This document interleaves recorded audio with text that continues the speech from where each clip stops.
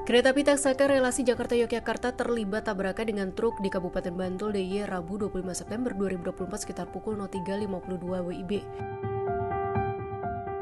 Kejadian bermula ketika sopir truk tidak mengindahkan sirene kereta lewat. Truk terjebak di rel dan tabrakan pun terjadi. Kecelakaan terjadi di perlintasan sebidang stasiun Sentolo Rewulu.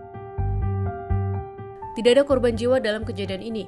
Kondisi lokomotif satu kereta eksekutif ke Ataksaka dan prasarana perkeretaapian Gardu PJL rusak. Perjalanan tujuh kereta api terlambat sebagai imbas dari kejadian ini. Untuk korban dari penumpang tidak ada, tetapi awak sarana perkeretaapian kami, yaitu masinis dan asisten masinis mengalami uh, cedera cukup serius di bagian kepala untuk masinis, kemudian di asisten masinis di bagian perut. Dibawa ke mana Pak? Langsung dilarikan atau dibawa ke rumah sakit umum Gamping.